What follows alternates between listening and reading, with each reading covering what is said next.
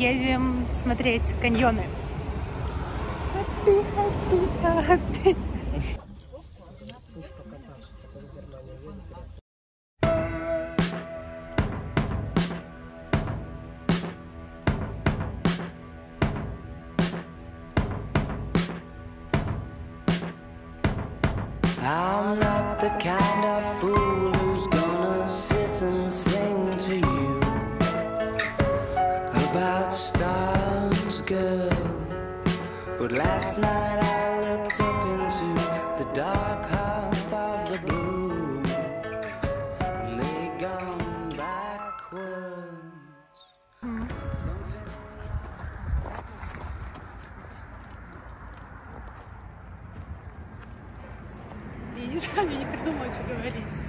Доброе утро.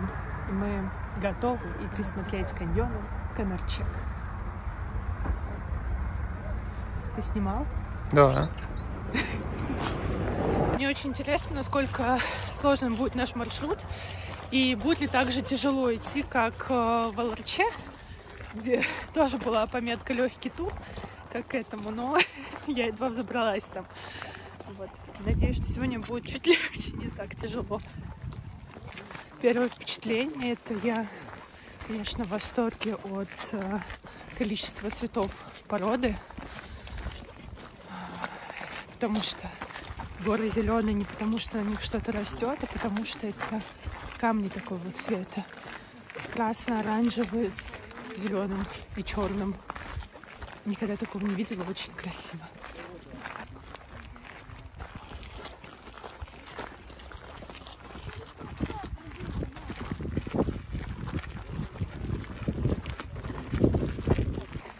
Ой, вот тут видно зеленый цвет гор и вдали красный холм. Очень красиво. Я не знаю, что это гор или холмы. Как это правильно называется? Будут горы.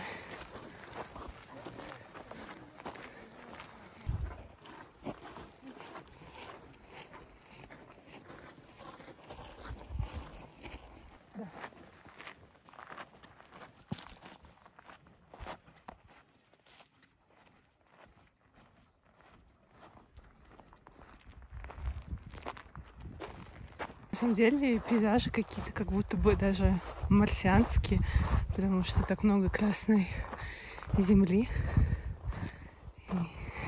И марсианские пейзажи, если бы на Марсе была растительность, и если бы мы вообще точно знали, как что-то устроено на Марсе.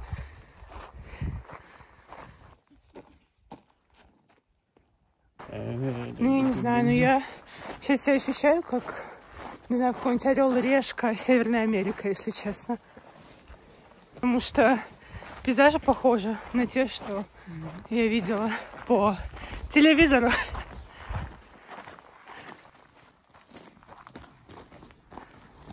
Еще Дик Дейл.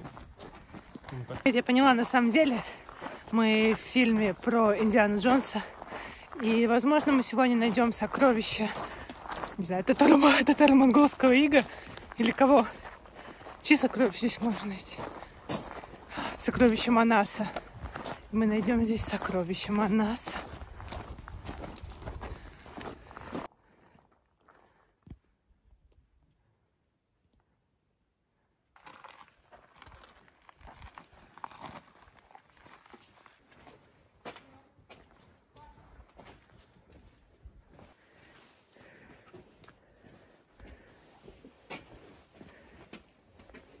Мы с Женей поняли, что мы даже не фильм про Индиану Джонса. Мы находимся на обложке альбома Views 2001 года Origin of Symmetry. Вот тут сейчас я вставлю. Точно надо поставить на музыку будет Nights of Sidonia. Это же он не с этого альбома? А с какого он альбома? Ну, мы поставим Nights of Sidonia. И, конечно же, через пару шагов выяснилось, что на самом деле мы думали о совершенно разных альбомах. А, Женя действительно думал об альбоме 2001 года Origin of Symmetry с вот такой обложкой, а мне же все пейзажи вокруг больше напоминали альбом 2006 года, на котором действительно находится песня Nights of Sidonia.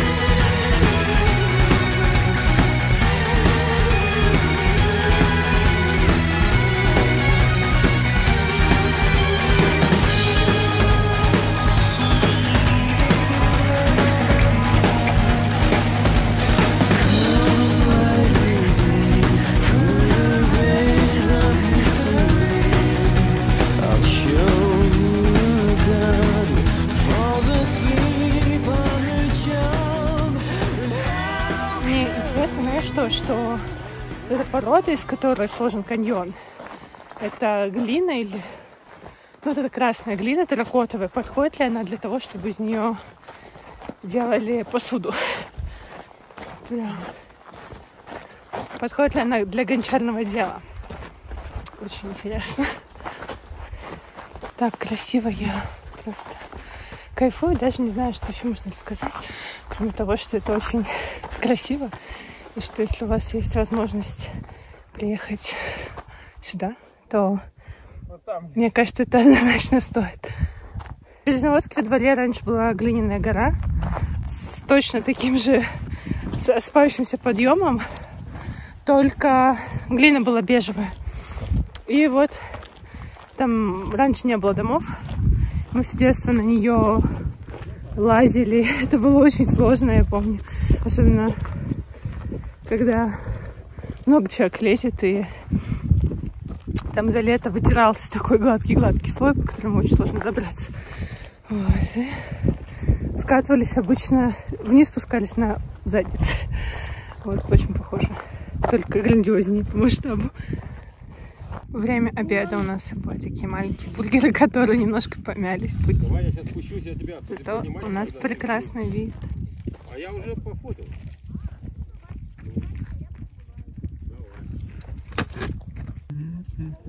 Этот кусочек каньона выглядит, как будто бы там две жабы сидят и квакают. Хочется назвать это видео, что это видео для Никиты Васильева специально, который все, вечно меня спрашивает, а что делать в Кыргызстане в этом?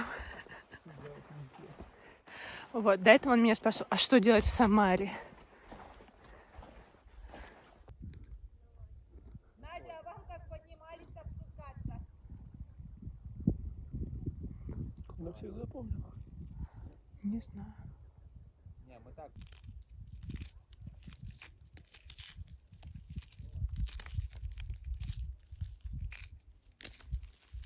Я хочу сказать, что дорога к каньонам намного проще, чем дорога в Ал- в Аларче к разбитому сердцу.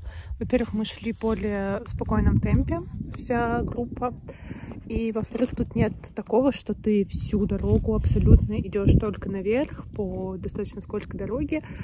А, Тут маленький подъем, поэтому маршрут достаточно расслабленный, но есть пару таких, мне кажется, даже экстремальных мест. Я на обратном пути покажу, сниму.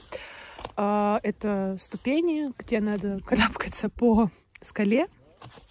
И, ну, на самом деле, только одно место страшное и тяжелое, остальные попроще, намного проще, вот. Но, в принципе, даже на каком-то страшном тяжелом месте забрался даже ребенок, которому, не знаю, лет шесть, да? Как ты считаешь? Вот, так что, да, маршрут очень приятный и просто, я не знаю, я получила огромное удовольствие, когда мы по нему шли. А, сижу, мечтаю о том, что если бы у меня был свой бренд одежды, то как красиво было бы в этих каньонах отснять летнюю коллекцию или осень. Особенно если бы она была в таких бежевых цветах. Ой, ой как красиво было бы. Вот такие моменты страшные.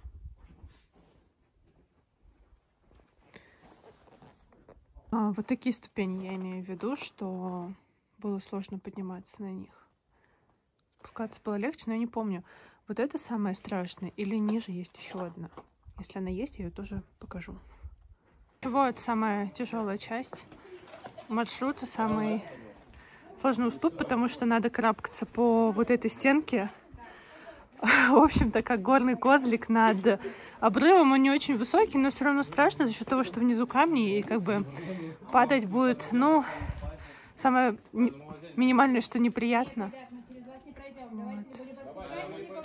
Так что почувствуй себя горными козочками сегодня.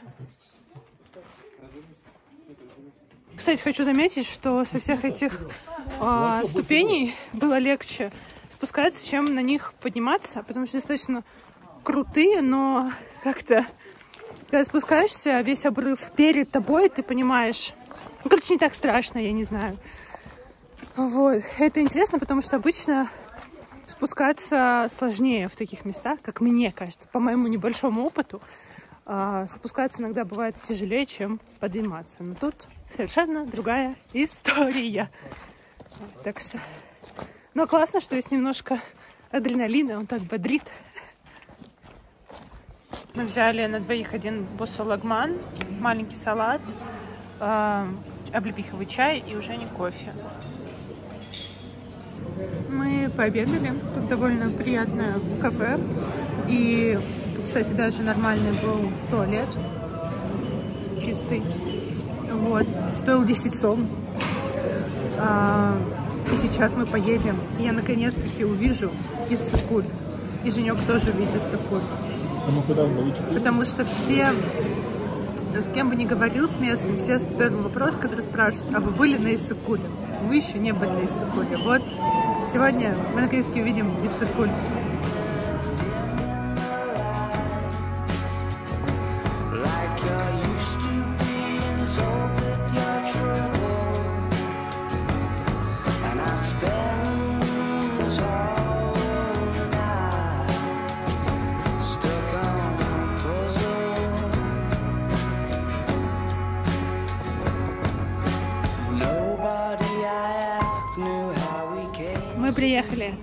Иссыкулю. Северный берег. Дикий пляж.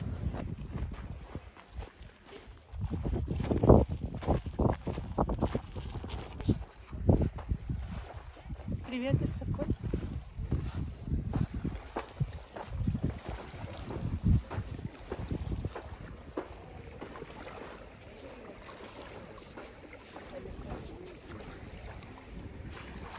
Ну, как много лет. Вообще не видно другой берег, только легкая дымка. Да. Такая чистая вода. Прозрачная.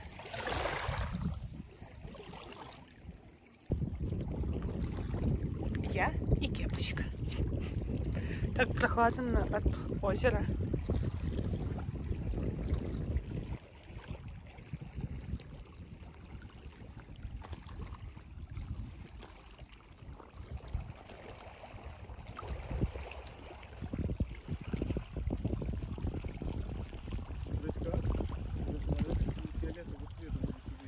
М, Газ, газ, вот это газ.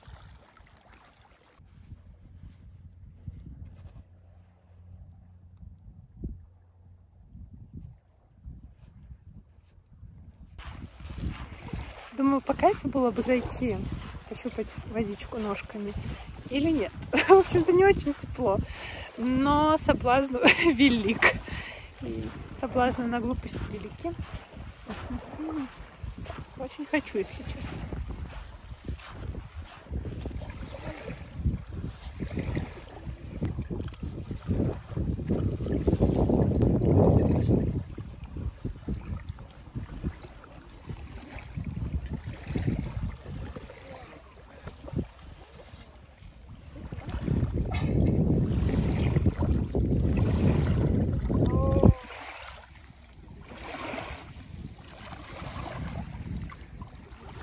Самом деле, холоднее, чем Волга в начале лета. Но, блин, так классно теперь. Мы много прошли, когда ходили по каньонам. И на самом деле так кайфово зайти в холодную воду. И-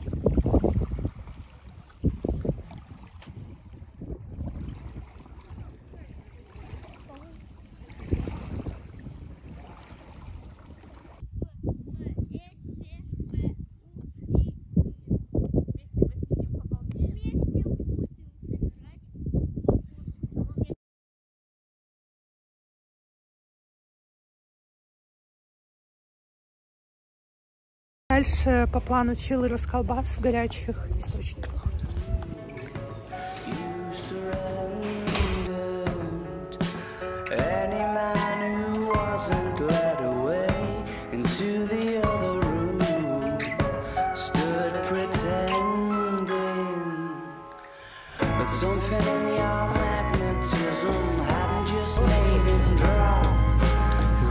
Очень горячая вода в источниках. Максимум можно посидеть, наверное, минут 5-10.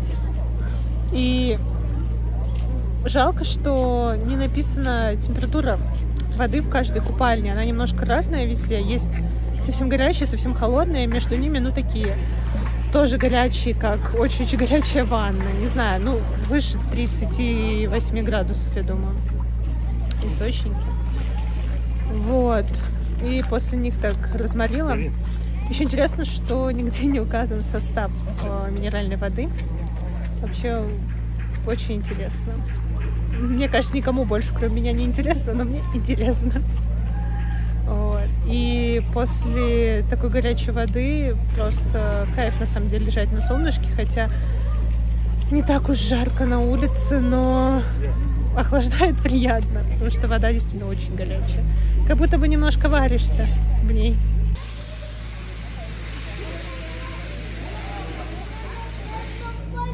В общем, территория достаточно симпатичная у источников. И красивый вид на горы в ту сторону. А, Вход стоил 350 сом с человека. Также можно взять в аренду халат и полотенце. Полотенце стоит 50 сом на час, халат э, 100 сом на час. А, Но на самом деле больше часа, я думаю, здесь делать и нечего, потому что, как я сказала, вода очень горячая, да, вода очень горячая, да и в принципе во всяких э, минеральных источниках обычно рекомендованное время для их посещения это 15 минут, остальное так, ну, походить, тут кофе, чай попить. Вот так. Это самый горячий источник, мы его не пробовали. Потому что и остальные очень горячие.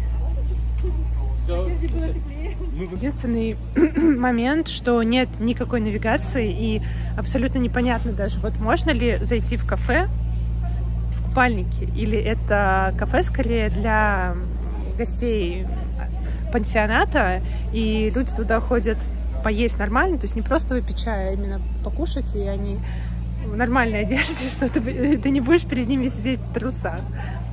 Вот, также там в даже нет в раздевалке навигации, иногда непонятно, в какую сторону тебе выйти, или где душ, или где туалет находится. В общем, это минус, но я думаю, это место новое и